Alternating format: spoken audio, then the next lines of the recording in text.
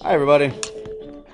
This is Mr. Falli, and welcome to podcast 544 The Effect of Intermolecular Forces on Different Things. So, we're going to explain how intermolecular forces explain the state of matter, talk about intermolecular forces and viscosity, and volatility, and compare it to ionic compounds, and how water is crazy including high boiling point, surface tension, volume, expansion, when frozen, yeah, blah, all that stuff. State the two-factor term molecular polarity.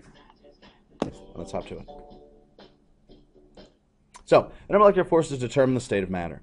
Strong forces hold together better. Okay, look at this right here. This is held together the best, right? They kind of vibrate a little bit, and those are solids, so they have the strongest intermolecular forces. Liquids roll over each other, so they have a little more dynamic and roll over each other. And gases um, act completely independently of each other.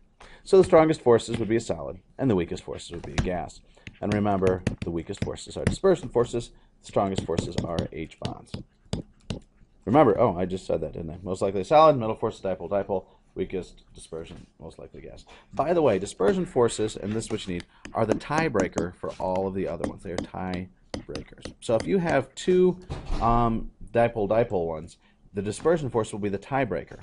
Bigger molecules, bigger molecules equal more dispersion forces for it. That means the forces are stronger. Okay, you can actually have so many dispersion forces that it could be bigger than the other ones, but basically use it for tiebreaker. Predict the state of matter for these guys. Well, I know C's and H's are nonpolar because I've been trying to get you to know over and over and over again that C to H, the difference is 0.4, so that's nonpolar. OH, oh, that's H bonding. So if that's the strongest one, I might say that's a solid. C to H, hey, didn't I just say C to H is a uh, nonpolar?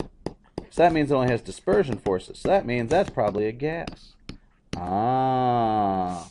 H to F. Hey, hey, hey, that's H to F. That's H bonding. That's probably a solid. And then I've got OF2.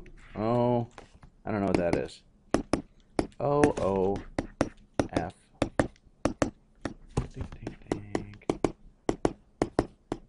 Connect the dots. La, la, la. Not a linear molecule. It is bent.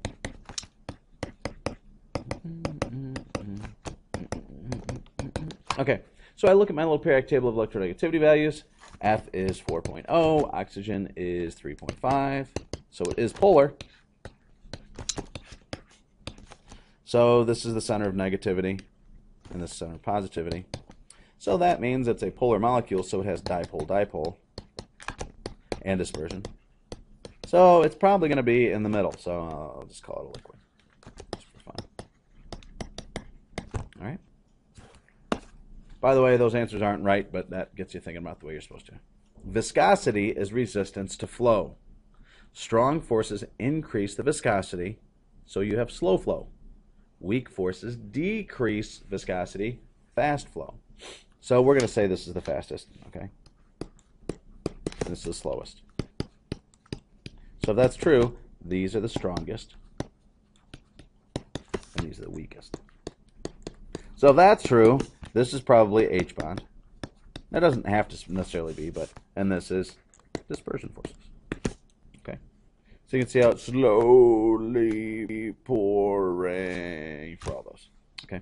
There was a molasses flood, and I talk about how molasses is a flow is a slow flowing thing.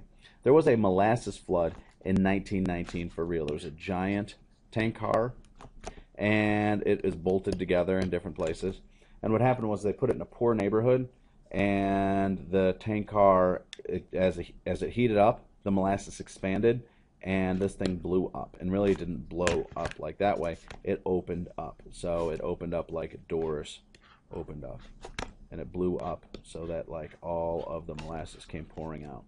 It was four or five stories tall. So imagine a, a five-story tall water thing exploded. It swept up a bunch of people, killed dozens, maybe hundreds of people, and things like that. This is a book that describes it. Um, a very, very good book. and I could throw a whopping 10 extra credit points at you if you read it and give me the sixth grade book report. We can talk about that as we go through it too. It's a good read though. Volatility, ability to evaporate. So something is volatile. I remember in my high school French, voler means to steal or to fly. So volatility is the ability to evaporate, which be fly away. Oh, high volatility liquid turns to gas and flies away. Fly, little gas, be free. It has low intermolecular forces. So that would be like dispersion forces. Low volatility, it's so attracted to itself due to strong intermolecular forces, so it'll stay liquid. So for example, if I have, maybe I should use plus something of x's. If I have a bunch of x's right here, if these x's aren't very attracted to each other, do you see how it could just leave and it doesn't matter that much? But if these x's are BFFs, what happens is they're attracted to each other and they all stay together. So if it has low attraction, right, low intermolecular forces, it turns into a gas and flies away. If it has low volatility, it would have strong forces and it stays together. Surface tension. Liquid is very attracted to itself, like Dante he only hangs out with himself, he won't talk to anyone else, and will not react with other types of molecules. Okay, It forms a dome. So one example would be this. It's like a drop of water, right?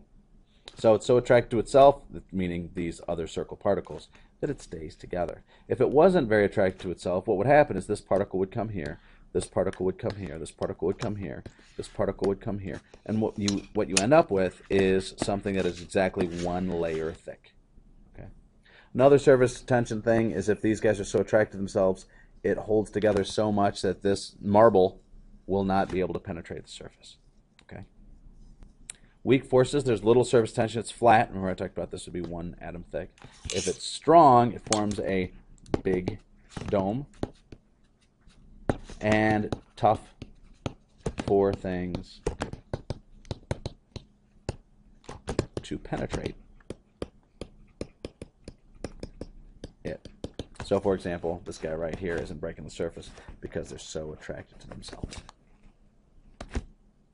Ionic compounds do not use intermolecular forces to determine their state, volatility, or viscosity. They do not use intermolecular forces. What do they use? They use ionic bonds. Okay? So these are strong ionic bonds which are intramolecular forces.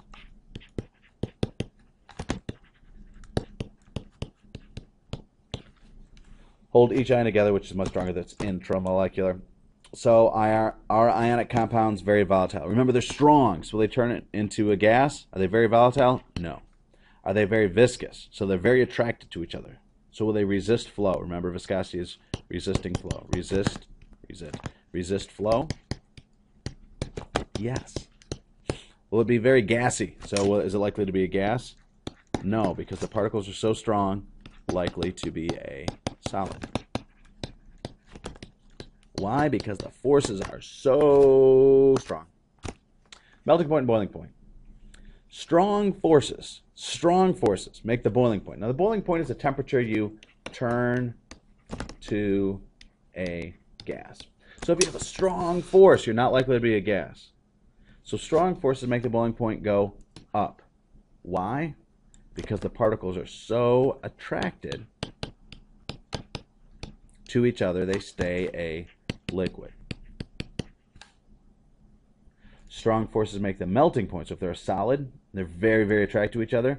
Remember solids oh, I would line up like this and they would just kind of vibrate. It takes more energy for them to then be able to roll over each other. Strong forces make the melting point go up because the particles are so attracted to each other. They stay a solid. Those are boils on something's face. I'm melting. Water has H bonding, which is really strong. So, by the way, this is a slide about water. Water has special properties because of H bonding. There are tons of obsessive test questions about water's H bonding. Water has a really high surface tension.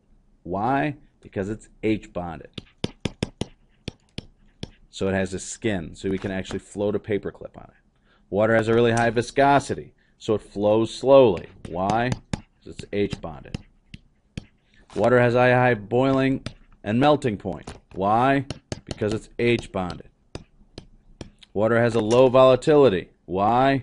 Because it's H bonded. Now, all of these are talking about the strength of the bonds for its mass. So basically, water's mass says it's a second grader, right? Water's mass says it's a second grader, but water plays like it's a junior in high school.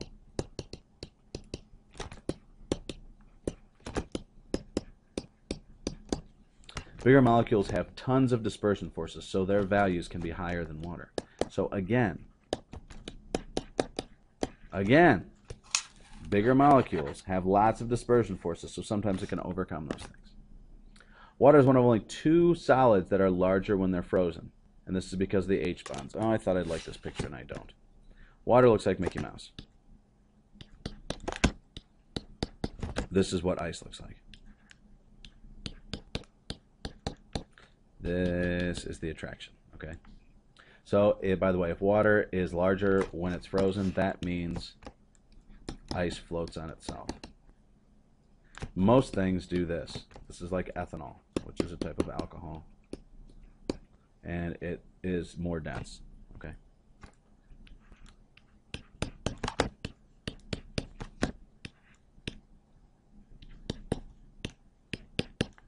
So notice the shape of water it makes a ring. This ring makes it larger. This is empty space, right? You'd think you could fit like a little another water molecule in here, and it doesn't. So it is not. When you do that, it has this empty space, which makes it bigger. So it's larger when it's frozen, so it floats on itself. This is incredibly important because this is what ice does. If ice did this, it would kill fish okay? Because what would happen is every layer would then fall down, and then a new layer would freeze and fall down, and then a new layer would freeze and fall down, and lakes would freeze solid. If lakes froze solid, no life could make it in the thing.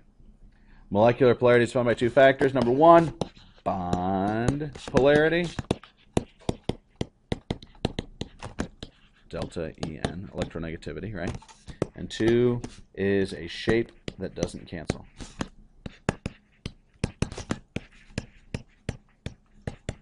That's assuming you're trying to make something in there. And that those shapes deal with symmetry. Oh, there's not two T's in symmetry. Symmetry. Review. H bonding is strong. Holds particles together. Intermolecular forces affect the state of matter, boiling point, melting point, viscosity, volatility, density of a solid, like honey has a high volatility, Ionic compounds use ionic bonds for all of those things. Covalent compounds do not use covalent bonds. What do covalent compounds use? Intermolecular forces. Ah, toodles, toodles,